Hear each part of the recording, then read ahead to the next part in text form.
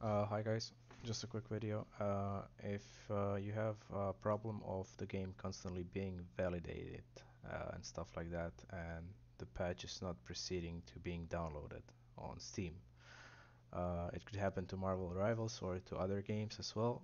Uh, the simple solution I found is from this guy is just to open your folder where Steam is installed and search for the logs folder and to open this text file.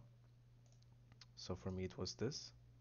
So for me it was uh, program files steam logs and then this one content log the text file.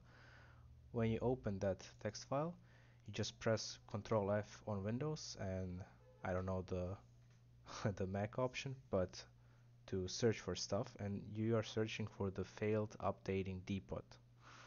Once you found it for me it was I, I, cannot show you right now because for me it was somewhere down here. You just uh, find which one it is like the guy is telling you to do right here. Uh, for him it was this one. And then you manually go to that location and you delete that file as well. For me for example it was here.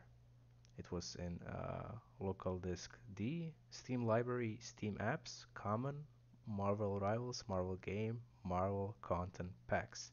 And it was something like uh, pack chunk zero windows whatever.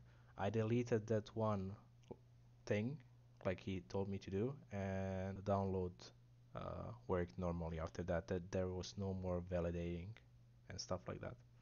So I hope it helps and shout out to that guy uh, that helped resolving this problem